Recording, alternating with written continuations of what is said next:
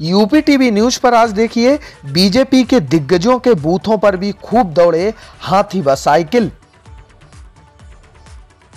बीते दिनों हुई मतगणना में यह तो साफ़ हो गया है कि बीजेपी प्रत्याशी को उसकी पार्टी के कई दिग्गजों के बूथ पर पटकनी खानी पड़ी है। कहीं हाथी गणेश बनकर दौड़ा तो कहीं साइकिल ने फर्राटा भर दिया। बीजेपी प्रत्याशी अपनी ही पार्टी और सरकार में बुरी तरह शिकस्त खा गई।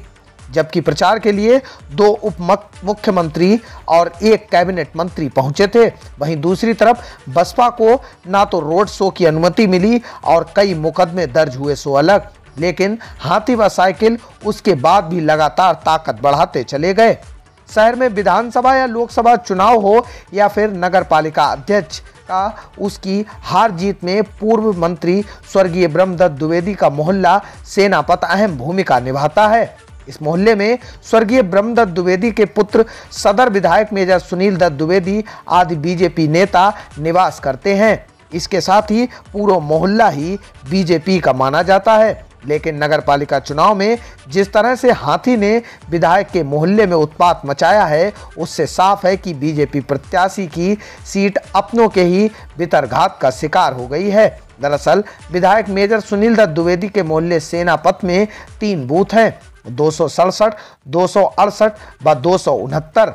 जिसमें कमरा नंबर एक में बूथ दो सौ सड़सठ पर सपा की एकता चौधरी को 30 मत मिले, कांग्रेस की मुमताज़ को एक मत मिला और आम आदमी पार्टी की राधा श्रीवास्तव को दो मत मिले और बत्सला अग्रवाल को एक सौ तिरपन मत मिले हैं, जबकि बीजेपी प्रत्याशी सुषमा गुप्ता को 205 मत। वहीं बूथ संख्या दो पर समाजवादी पार्टी को 75 वोट, बसपा की बसला को एक जबकि बीजेपी की सुषमा को इस बूथ पर 122 मत पाकर बूथ हार ना पड़ा है, जबकि मतदेय स्थल पर संख्या दो सौ उनहत्तर पर समाजवादी पार्टी को चौवन, बसला को इक्यासी। वहीं बीजेपी ने यहाँ बढ़त बनाकर 155 मत हासिल कर लिए।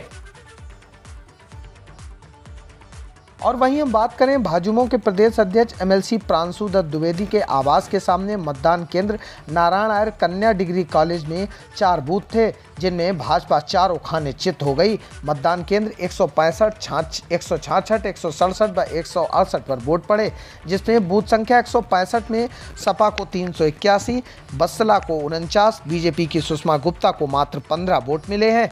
बूथ संख्या एक में सपा को एक सौ सत्तावन बसपा को 48 और बीजेपी की सुषमा को सैंतालीस मत मिले। वहीं बूथ संख्या एक सौ सड़सठ पर सपा को 246, बसपा को 28, बीजेपी की सुषमा को 6 मत मिले।